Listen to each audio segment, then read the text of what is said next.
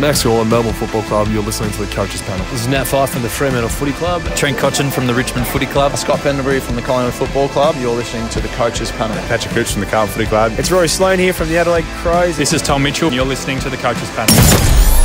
Hey friends, you got MJ from the Coaches Panel. I hope you're well and welcome back to another strategy roundtable with just a handful of weeks left to go in your fantasy footy season. It's time once again I assemble a couple of members of the panel to help you through the last month of footy for your Supercoach Dream Team AFL fantasy side, whether it is single season draft, keeper league draft, or you play a salary cap classic format of the game. We've got something for you on this episode. Joining me uh, on the podcast yet again, as he does pretty much for the most times we do these strategy roundtables, fellow co founder Rids. Hello, mate. How are you? Hey, buddy. How you going? Hey, listen, MJ. Before you go introducing the next person, Yes. okay, I just want to talk. I want to call out a couple of things. Here First thing is how good was it having Matty Mottram on last week? That was He just did- awesome. He did a great job. You'll hear him plenty on the coaches panel in 2024. Yes. Yep. And I want to call out this second thing. Did um Mini Monk get like um he's not allowed back in the country? He's gone over to Switzerland, done some skiing trip or whatever he's doing. Like he's just not allowed back now, or what's the go? No, no, he's definitely uh, allowed back. We'll bring him back. Just couldn't uh, align schedules uh, for this episode. But don't you worry, you'll hear plenty of Mini Monk over the So next he's left us because he's been on every other podcast in the last two weeks, and he hasn't been on ours. Yeah, that's lovely, isn't it? Yeah, no, definitely not. We love we love the Harry Sheezel of fantasy footy, that is for sure. Uh, speaking of someone though we haven't had on the pod for a little while, you hear him a ton during the preseason with us during the 50 most relevant. You also hear him on the pod pod most weeks. We've managed to just sneak him away in between footy training, runs, running the world in South Australia. It's Louis. Hello, mate. How are you? Oh, it's good to be back on the podcast. It's been a minute, so uh, keen to talk a bit of fantasy with uh, the great minds of you boys. All right, there's a bit I want to get to with you lads. I want to talk. Uh, if you're a league focused fantasy footy coach, uh, hang, make sure you hang around right till the end. We got some advice that you'll get from both Rids and Louis that's going to help you with if you are a league focused coach. They're going to help you navigate these final few weeks as it comes to finals.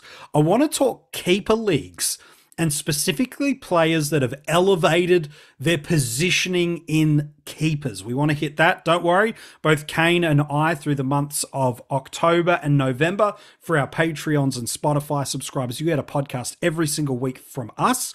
That's an extra reason to hang around in the off season, but our top 50 keeper ranks will drop. But I want to get these lads' thoughts on keepers. And then I want to talk some fixtures and some matchups, but maybe not just who we think scores well. There's some other nuances that I know uh, I'm keen to get both Louis and Rids' insight from. But uh, Rids, I want to start the episode in this space. Maybe not the most important, but probably it's the one that comes to mind first.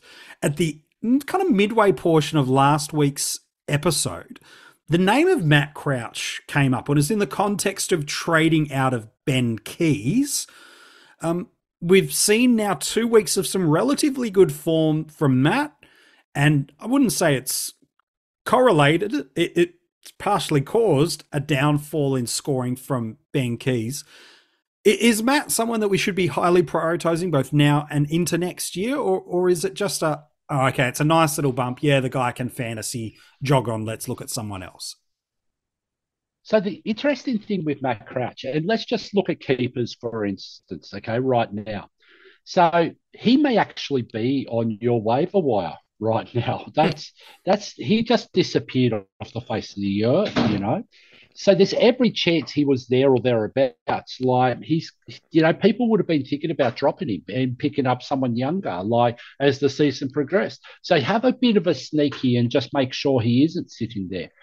But let's look at salary cap. So DT and Supercoach wouldn't go there, don't want to go there. Who cares about that? It's too late in the season. No one's got trades to do that. Yeah, Sure. That's well. That's the long story short. Yeah, But the vast majority of coaches Like- are in that position.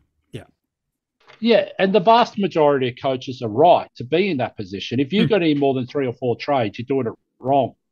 Okay, so let's look at AFL fantasy. I want to actually have a little bit of a conversation around him because there's a couple of things I want to just highlight. Okay. Mm. He's actually playing okay football. He's looking Mm. pretty good. He Adelaide's come out and they pushed Melbourne all the way the week before, and he looked great in that game. Mm. They came out and won the showdown against Port last week. Now, I'm not saying it was due to Matt Crouch, Sure. but the reality is he was actually pretty decent. Mhm. So if you're looking for some sort of point of difference Yep. over the last four weeks, he's got Gold Coast this week. Now, Mhm. I think a lot of the narrative's going to be that Touk's going to go and sit next to Rory Laird and or whatever. Dawson, maybe. That's great, whatever. But guess who he's not going to go sit next to, MJ? Hundred percent. Matt Crouch. Um, and have a look at round 24. Now, there's a big massive caveat. We don't know if this guy's got the job security to be there in round 24. Against the Eagles, you're alluding But- to. Yeah. I tell you what, though, if he is, that might not be a bad little 700 stab in the dark, you know, Hmm. option at getting 100, 110 over the next four weeks. And really, that M8 spot, that's up for grabs here. And I know Louis is probably going to want to talk about Yeah, that. for sure. But but someone like a Ben Keays, who's lost the midfield role, Mm. it's pretty much gone to Matt Crouch now. Um, he's going to be the first one out the door, I feel, like when those small forwards come back in the next week or two. Well, Rachele's So- likely back this week at time of recording. We don't know. Chances are, when you're listening to this, you do know. Rankine's arguably another week beyond that. So you're right. Within two weeks' time, we could see Keays really fighting for that spot, unless a, a tag related role in the midfield or half forward line lands his way. Louis, talk to me about this M8 space because everybody's trying to look for some separation and they're also trying to find some uniqueness and they're trying to find a player with ceiling. Crouch does feel like one of many players we could be looking at M8 and probably also F6 that could really help us a lot in that space. So talk to me about Crouch and then let's hit this M8 and then I want to move into F6. Yeah, well, I think Crouch is certainly viable. Uh, Rids hit the nail on the head that job security would probably be the main concern. I'm not sure where that lies at the moment, just because I'm not sure Adelaide expected themselves to be in this position. So I think maybe they were charging towards finals with a pretty young core. Uh, they tripped up a little bit and things started looking uh, a little bit haywire. And then they get a few unexpected wins. And I think the showdown probably boosted their confidence too to say, well, hang on, we've actually got the squad here to to push towards finals. And um, I think if that's the case, then Matt Crouch is probably a part of their plans because Hmm. he's a senior player. He's turning 29 next season. He's a player that only two years ago, um, three seasons ago, averaged 105 for four seasons in a row. And it was really Yeah, only wow. injury that probably curtailed him, uh, a little bit of form, and then um, a little bit of direction change with the way that the Adelaide list is going. So, uh, as a scorer, we know that he can do it. That's a big tick. The price tag's a big tick. The role's a big tick. Uh, the only question would be, like I said, the job security. I think this is the time of the year where you can take a punt, though, because, like you said, um, M8, F6, D6, they're all up in the air a little bit. I think Mm. the gaps between those positions and maybe your M20s, your F15s, your D15s, I think the gap there uh, is a little bit smaller as opposed to what the gap is at the top. So, in that case, I'd be looking at matchups. I'd be looking at uh, what players have been able to do before versus teams. There's a lot of players out there that just for whatever reason have bunny teams. Mm. Uh, I'd be looking at getting creative with a VC potentially. So maybe there's a guy with 2% ownership that you can see punching out a 140 and he plays on the first Saturday game. Well, beautiful. Put the VC on him because as we've seen, the uh, the difference with uh, teams at the moment, with teams looking the same, a lot of coaches out Mm. there consuming the same information, bringing in the same players. A way that you can actually differentiate yourself is by having a swing at that VC that's a little bit more unique. Because uh, I don't know about you, I'm noticing at the end of every round that the difference pretty much is maybe one or two players overperforming or underperforming, but the main crux of that is actually who uh, they've put the VC or the C on. Yeah, it's some good advice. Rids, I'm keen on this idea that Louis dropped so many little nuggets there of gold for people, but he's talked about these early round matchups and certainly for AFL fantasy. And the reason we're focusing on that is for super coaches and dream teams, you're likely, if you have a trade left, it's league focused, and we'll get to some league advice in a second, or it's ranking and it's basically just waiting for that last trade to make, whether it be an injury or, or something like that. But this idea of the early round matchups over the next two weeks, just purely focused on that. There's probably three teams, Rids, that we look at either from the Friday night to the early Saturday games, and that is Essendon have that. They've got the 145 matchup this week against the Eagles. They've also got another 145 matchup. This is Melbourne time, by the way. Uh, the next 145 matchup is against North Melbourne. You've got Collingwood, who have got the 435 matchup this week, and then they've got the Friday night matchup the following week.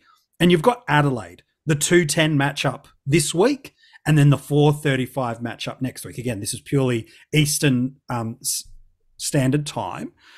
Uh, are there three clubs there that are really interesting to you over these next two weeks, or is that just oh yeah, that just happens to land for fixture? Happy days, or is there something in these three teams, Rids, over the next two weeks? So it's a little bit tricky when you try and do it over multiple weeks, right?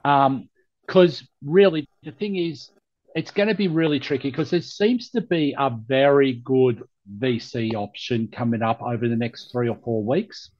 Um, like you think about the Western Bulldogs playing Richmond tomorrow night, for instance.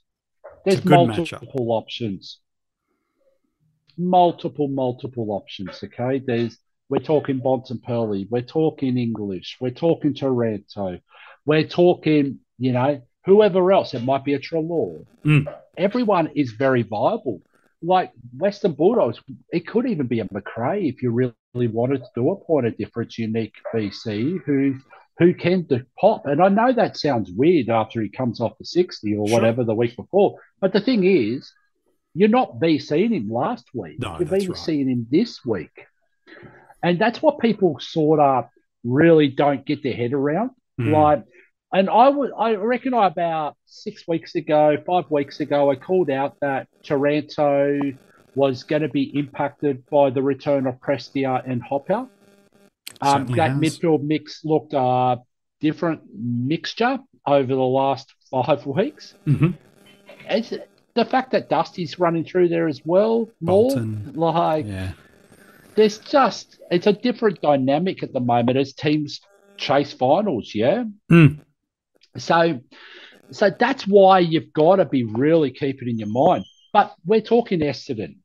Yes. The group think is Parish, okay, this week. That's he's probably the number one. Parish and non Merrett owners are, are, probably heading both those ways.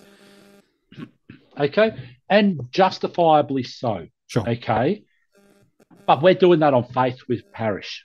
Mm. Because the faith is Parish has beaten up the weaker teams previously, sure. has a monster ceiling, mm. but we haven't seen it this year, have Not we? Really. Like we haven't actually like we've seen glimpses of it. We haven't seen the we the 2021, have... the 2022, where he's going on three, four, five week stretches of 110, 115, 120 plus for sure.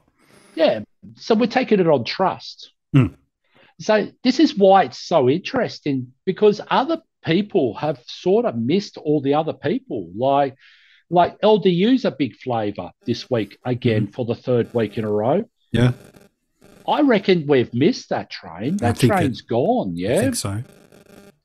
Yeah. yeah. So why aren't we looking for the new train now? This is the time of year that you can actually look at that. And that's why that M8 discussion's coming up. And it's so intriguing because that's the spot you can attack in.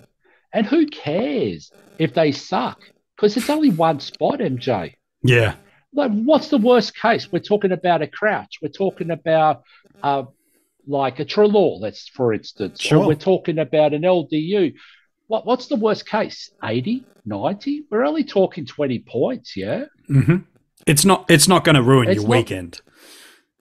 No, we'll, we'll pretend it does. We'll suck like crazy when it does happen and they spit out an 80.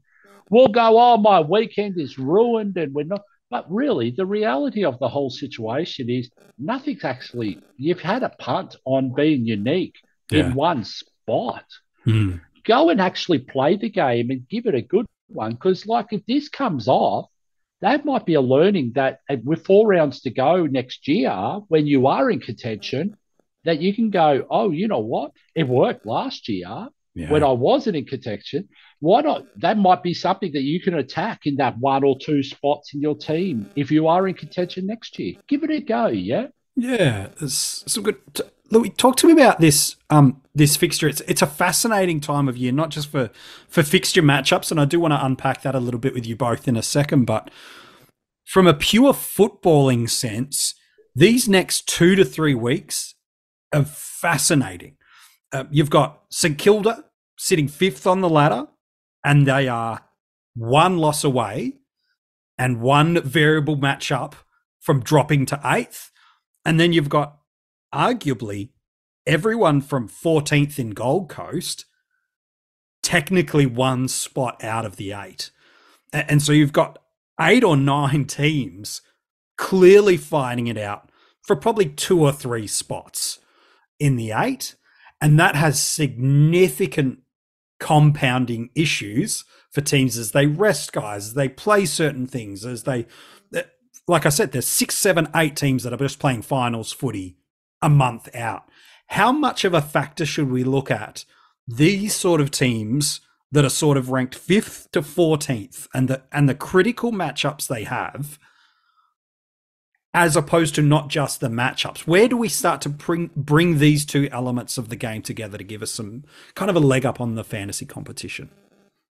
Well, I think this is where you need to rely on your own sort of football nous. I think, right. uh, and I've certainly done it before, where you get so encapsulated with fantasy that sometimes you forget what's actually going on in the actual AFL competition. You mm. lose track of where's who on the ladder, or you know, you maybe write off certain players who aren't scoring well, but in fact they're playing a different role, and you know they're playing the best football they ever have. So I think it's important over these next couple of weeks that we really need to take these games into context. Mm. So uh, I know, for example, um, last week uh, Saints obviously trying to make the eight. They need every win they can. There's a question over Rowan Marshall all week. Yeah. Um, I think that's where you need to just be a little bit shrewd and go, well, I'm, you know, unless it's, you know, critical and they haven't come out and, and said anything, then that's probably something that's just a bit of fluff during the week that, mm. um, that I, you know, maybe don't need to worry about, but I should keep as a note. That being said, the teams outside of that as well, uh, you want to be keeping track of too, because mm. the same thing can can happen the opposite, where uh, maybe a senior player does get dropped and they bring in some young guys and they and they just see what 2024 potentially looks like, a new game plan, all that sort of stuff. Um, so yeah, it's a tricky time of year. There's so many variables moving about. Coaches mm. are hmm. playing their own game. Players are also playing their own game. Contracts are in the mix, up in the air. There's just so many moving parts that it can become um, just really quite unpredictable. So think the best advice this time of year is just to stay uh, up to date with the news as mm. it hmm. comes to hand, of course, uh, and uh, yeah, just you know making adjustments. Yeah, Rids, does that mean like teams like a a Gold Coast and Essendon and Adelaide? Maybe you could say Richmond. I think they're marginally ahead on, on the ladder in terms of points. Uh, do they become teams that in a week or two you can't afford to jump on as they drop out of finals. Equally, teams like a Collingwood, a, a Brisbane, Port Adelaide. I know these are teams that are now more fighting for positioning in the top four than anything else. But does where the narrative starts to land of finals, no finals, locked home finals, non-locked finals, does this either inform trade ins as well as trade outs for you? It goes both ways, yeah. Yeah. So often you find that teams that have been locked into finals will then start managing the load of the players to go into the finals to be right for the finals attack. Mm. But then on the flip side, and you mentioned an interesting team in that in Gold Coast. Mm. Now, I look at Gold Coast and think, well, if they are going to drop out of the finals contention, what does that mean for the caretaker coach? Mm. Does that mean, like, say, a Dimma Hardwick gets announced next week or the week after or whoever? Does that mean he's got some sort of say into trying a few things? We've seen Sam Flanders, who's coming to the side, has mm. been given more opportunity under Stephen King, and a lot mm. of people have jumped on. But could that work in reverse if that's not what Dimma wants? Mm. If he gets named, it is a big if, okay? Yeah, lots of but variables. does that about. work in? Yeah, but he wants to see Jeremy Sharp get a game on a wing, or he wants to see what Elijah Hollands looks like through the midfield. Or he wants to see a Touk Miller tagging for the rest of the year. Mm. You know, whatever it there's just that real dynamic. So it's really important. And Louis spot on, okay? Mm. You got to keep an eye on the actual football. What mm. is the team playing for? What are they not playing for? Are they looking at bloody new players, trying to find out whether they want to keep uh, one or two guys that are on the fringe of the, you know, keeps for the next season? Um, let's see what they can look like in this position. You know, let's try a tall forward who sucks as a tall back for mm. the last couple of years, weeks. And we've seen guys like Liam Jones, like these the other one, the Western Bulldogs guy, Josh Bruce. Go down. They started as key forwards. Yeah. Yeah, they've gone down, but they've been swung into new positions later in the season. Himmelberg's a perfect example. He's year, yeah. been pushed back for the second half of the year because that's where he wants to play, and they're trying to keep his signature. Yet the community was so slow on the uptake on that mm. that they missed that point. Mm. Like, that's why you've got to still have that footy nous around it and understand the situation and what that might lead in regards to roles and in re- regards to opportunities, the managing of loads, the managing of players, the hmm. older mm. guys. You've just got to keep an eye on it, yeah? Yeah, so, Rids, in, in terms of jumping ranks this time of year, which we know is pretty much harder than any other time of the year, do you mm. think identifying role changes now, uh, whether that be a top eight side or probably more likely a bottom uh, 10 side. Do you think identifying those role changes is more important than ever now? It is. I hmm. actually do. And the fact that if they do well in that role change is the key for the bottom 10 teams. Yeah. So you, let's look at it. Aaron Hall retired two days ago. Mm. So clearly, the someone at the club has tapped him on the shoulder and said, "No farewell game for you. It's time on your bike. You're not going to retain a spot." Sure. But the key thing from that little news is who is going to replace Aaron Hall in the next three or four weeks, mm. and then if he does well, that becomes someone on the top of your list for next year to like watch over preseason. Well, look at a Harry Sheezel, so I think example. it's absolutely yeah, like a Sheezel, for example, it was in the preseason that Clarko moved him into the halfback role, experimented, hey, this works, and have held him there. Then at times, Ratten's flirted with that halfback, centre forward, centre bounce role. For me, he's a fascinating player to watch. You talk about Hall, this compounding move of the next month. Do they want a glimpse of Sheezel at half forward where he, he really earned his stripes as a junior? Do they want him in that centre bounce midfield and learning the craft, or is it to to both your points? Nah, Harry's going to be our long term mover and shaker of the ball off half back. We're going to give him months. So you're right. There's a lot to take out of this for this year and, and for next year. And West Coast is the one we really need to keep an eye on. Correct. Radio. Done. Because Shannon Hurn's retired. We're probably going to get a few announcements over the next couple of weeks around things. But who is best served if there's a young kid like a Brady Hough, for instance, okay, even Duggan, that, a couple of years Duggan. older, yeah, yeah, even Duggan, you know, let's keep an eye on these guys and see where they go in the next two, three, four weeks, because that's they should be on the top of your list if they impress you.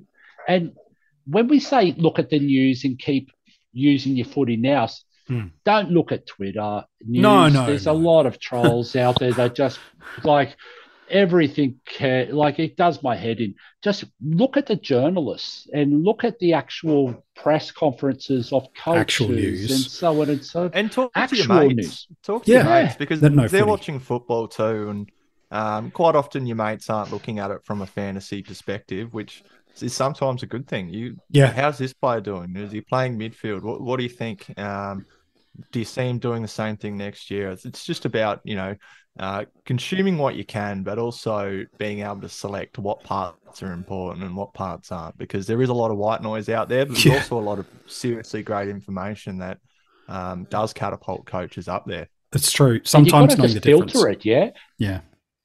So, like for instance, in our chats, okay. So I'm a big Richmond man.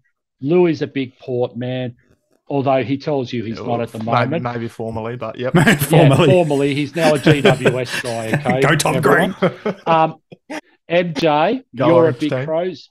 Who did I ask last week about Matt Crouch replacing uh, Keays in that makeshift team at the moment entering finals? It was you. You, Yeah. you know, go and ask your mates. If your mates are really avid followers, they get on the forums, they talk all about their team, they will know what's potentially going to happen because they're the ones with the best advice. Like they watch their team religiously, looking for things to support. You know, we want to see a young kid come through.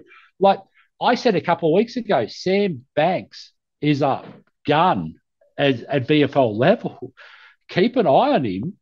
And he's starting to flourish. You could see it in the AFL right now. So, right at the top of that list, depending on what happens with short and coaches, we've got a lot of variables there, okay? And that was But a move that happened. Sorry, Rids, as soon as You're short right. was out, wasn't it? So it's Yeah. yeah, identifying that. Okay, well, the main rebounder off halfback, he's out. Uh, Sam Banks has been banging the door down for the best part of eighteen months. Uh, there's a bit it. of murmurs the weeks before. Well, oh, hang on. Uh, I might look at him as a rookie downgrade, or hang on, I might just pick him up, pick him up off the waivers. Uh, and if he starts like a house on fire, then all of a sudden I've got a name and a bit of currency to trade with. And you know what happens next preseason? Now, there might be, an, I'm not saying I'm wishing an injury on someone, but No. if a Dan Rioli falls over or a Jayden Short falls over, and you've actually got your eye on Sam Banks on your watch list already, now Mm. he then goes higher on that watch list, does he not? Oh yeah. because he's screaming for it and he's going to have a full preseason that you know he may very well elevate because he's going to be more of a senior pitcher over that preseason in case an injury does strike. So, So there's a whole heap world of this. It's really true, and and classic coaches are they're really switched on at doing this, but arguably it, it's the keeper league coaches that are much more used to the if this then that, if this then that, and and and keeping and identifying on players sometimes to their own fault, um, being bullish on certain players, and we see such huge variables year on year that one player change the dynamic of a player's relevance and ranking in a keeper league can can really move. And so, I, I do want to ask you boys one other question before we wrap up the episode. But I, I want to stop down and, and ask this to you uh, around keeper leagues. Um, who's a couple of players that for you has had significant evolution in where they would be ranked in a keeper league now from this time last year, even at the start of the season, to where they are now. Now, I'll, I'll hand it over to Rids first, and, and Louis can jump in second in a sec. To be clear, like I said, through October and November, Kane and I will give our Patreons at every tier level, as well as our Spotify subscribers. We'll give you our top 50 keepers and we'll rank them into tiers for you. So don't you worry, that's coming in the off season. But Rids, give us a couple of names that for keeper league coaches, either they've got and they should up their value, or those that they should target that few have really elevated their their value in the world of keeper leagues. I think there's one that jumps off the page to me, okay, and that's a St Kilda defender who has just come from the clouds this year in Incredible. Wanganeen Milera. He's been incredible. He's just been incredible. Um, and as we've seen Sinclair moving into the midfield rotations more and more, we're just seeing this guy own the back line. He Mhm. just, last week, I actually I know that um, um, Sinclair was being tagged at the time, okay, but I actually thought there's a chance here that Finn Maginness is going to go and stand next to Wanganeen Mhm. Malera. He was impacting the game so, So much. much, yeah. Like it was just ridiculous. But he's definitely one that's just jumped off the page. Now there's an obvious guy. Okay. He's in his second season as a player. It's Errol Gulden. Now, Third, if you had yeah. you oh, he's at his third, Third year, yeah, Um, yeah. So what? I thought you heading Yeah, you for a second there, mate. No, no, don't worry about him.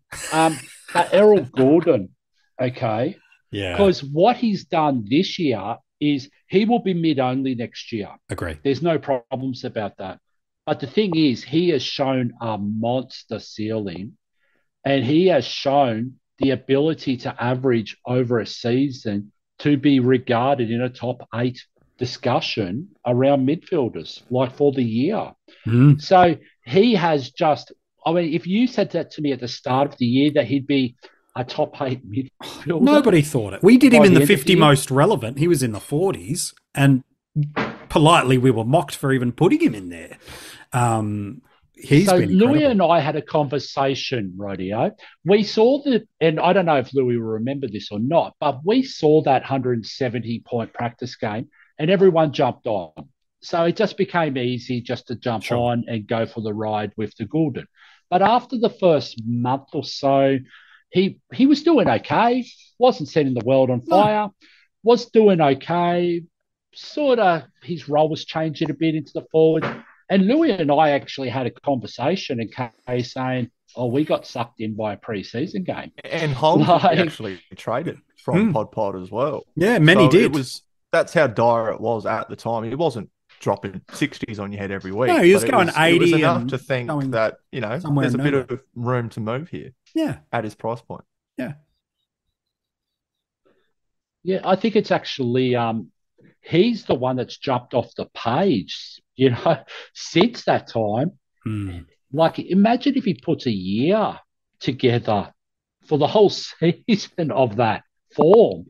Like we're not talking top eight midfielder, we're potentially talking top four or five yeah, midfielder. hundred You know, he he has elevated to the point of, you know, when you're doing your rankings at the end of the year with Kane, MJ, Yeah, and I've got no doubt in the world that there's going to be a certain um, son of a gun from uh, Magpie era. That Oh, I thought you were talking about Max firm Michalanney discussion for a around number second. one. Yeah, he'll be up there. Daicos. Like, um, I was thinking he's going to be a discussion around number one. Yeah, But I tell you what, I'm going to give you a bit of a handy hit here. Please don't disregard Errol Gulden in that discussion when you get there, because wow, we he's had that good a year that it's going to be very hard to not find a top five, ten spot, which is going to be really, really because I don't even know if he was going to sneak into the top, you know, forty. At that, you know, if we were having this last year, yeah. but the fact that he's going to be right up there is just crazy. Yeah. It, yeah, he made the top 50 keeper ranks last year, but he, I think he was in the bottom tier. He, just for reference point, not just on that, but in his last six, five have been over 120, two over 140. So that just highlights that ceiling that Rid's talking about, about Errol. Uh, Louis, for you, throw a couple of names at, at uh, the community that, in your eyes, have had potentially some of the biggest bumps in their keeper value in 2023. Well, yeah, and sorry, just to back over Errol again. Yeah, please. I drafted him in a startup keeper last uh beginning of this year with all my uh in real life mates, and was able to pick him up at pick fifty seven. So oh, beautiful. uh, at, with forward status. So uh, you can imagine what that looks like next year. It's it's probably top ten. Yeah, he's a first rounder. I think you could genuinely build that case in keepers for sure.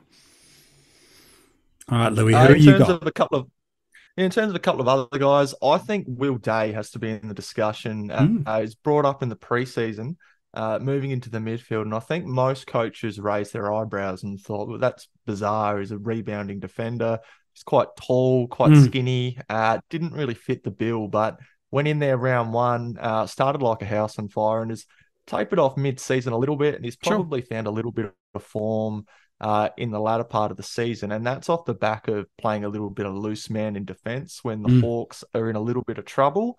Uh, and being Hawthorn, that's probably going to happen for the next, you know, two to three seasons at various stages stages of the year. Sure. We've seen what he's able to do as a midfielder. He's a 95 guy as a midfielder, 95 plus. But the ability for him to go back really shoots him up my rankings because if that's a guy, he's obviously a keeper. And if that's a guy that you can use with defensive status in three, four, five, six years' time, Mm. I think he's also, you know, top of your line in that area as well. So Will Day, I think, needs to be given um, pretty Some high love. consideration. I think he's someone that you will still be able to get for a little bit of a bargain next year.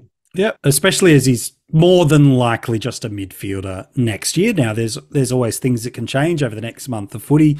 Lots of people will, will be loving Harry Sheezel. No, not drafting Mini Monk. The Harry Sheezel, no doubt, will clearly have elevated. Maybe we'll see Ashcroft not go quite in the space that people expected to with that ACL. Some other names you've got for us, Louis?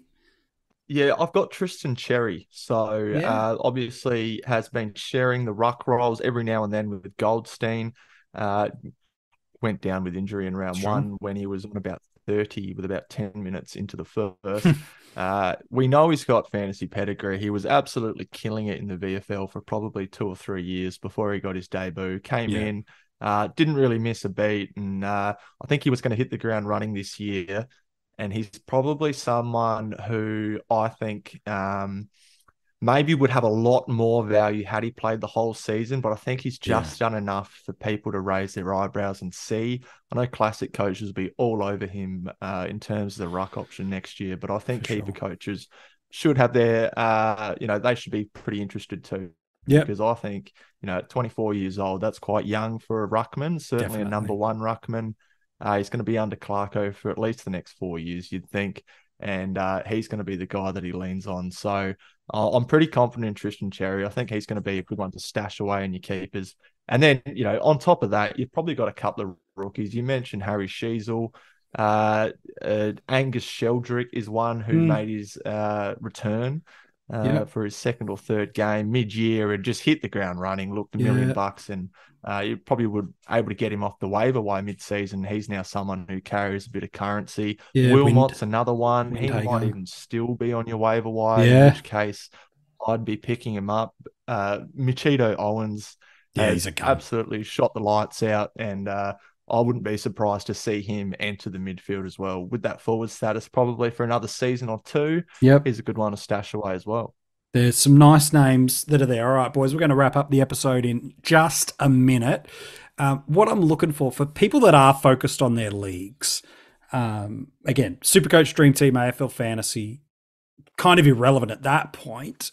But can you give me one nugget of advice for a fantasy coach that doesn't give two stuffs about their rank, but all they care about is getting the dub over their mates in a league, cash league or not, kind of irrelevant. What's your one parting bit of advice for coaches that have entered into their fantasy footy finals, and what should they be doing this week? Rids, what are you thinking, mate? I would find the most hyped um, player over the next four weeks and go against them. Uh, if you own them already, trade out of them. Like, and find someone with a better draw. Okay. Mm. So there's a few little nuggets here. So with the dogs, for instance, okay, Bontempelli has been an absolute superstar. Amazing. this Yeah. Yeah. Mm. But we often forget about a Treloar or uh, you know, the others that come with it. Yep. Because like we only got like a memory of a goldfish and we can only remember this year. But don't forget these guys have been superstars for years gone by. Mm. Even like a Baz Smith. If you can just find that unique head to head matchup that's in your favor and that you're comfortable with against, say, a hyped, um, let's say LDU, for instance, and you Sure. can have that matchup, that could actually win you a league title if it gets going. Yeah, that's really good shout. Louis, what's one last nugget of gold before we wrap up the pod that's going to help those league focused? Oh, I, I think Reed's hit the nail on the head there. You really just have to look at your league matchups, identify where the difference is, and then uh, really just have a crack. I think, like I said at the top yep. of the episode, that a lot of teams are looking quite similar. But I'll look at, you know, some of these top eight mids and they're putting up numbers that are with the best of the lot. And some of their ownerships are, you know, uh, between two and five percent. Just to rattle off some names: Darcy Parish, one we mentioned earlier, Jack Viney, Tom Liberatore, mm. uh, Adam Treloar is another one. Rory Laird wouldn't be highly owned. Um, there's there's so many players that uh, Josh Kelly is another one. Uh, Touk Miller potentially could be one too. There's so many players who are between two and five percent ownership, and even if they're not, there's a lot of ghost ships out there. Regardless, um, that will give you that differential in your league matchups and might be able to to give you that extra edge.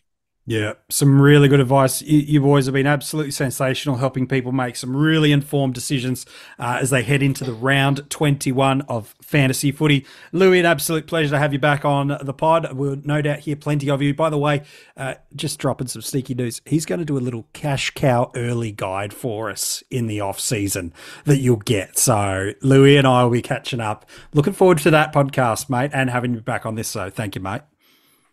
No, thanks, mate. I'll uh, I'll send the invoice after this. Yeah, great, fantastic. Uh, speaking of someone that doesn't send an invoice, uh, is Rids, mate. An absolute pleasure for you yet again to have you back on the pod, mate. And don't forget, just if you're a Patreon, make it a little bit higher this week, this month, okay? So we can get Mini Monk out of um, Home Affairs or Border Patrol or whatever it is these days and get him great. out of customs to get him back onto the pod next week. That would be great. If you want to become a Patreon, all the details are in the description of this podcast. There's a heap of bonus content that comes your way, not just during the season, in the off season and the pre-season. So if you want to join that Patreon, there's a tier that's right for you. All the details in the podcast description. Or if you just want to become a pod a podcast Spotify subscriber, you can also do that through listening to Spotify. Uh, thank you for your support of the coaches panel in 2023. We hope this round 21 is kind to you, that it all lands your way. And we can't wait to chat to you next week with another strategy roundtable.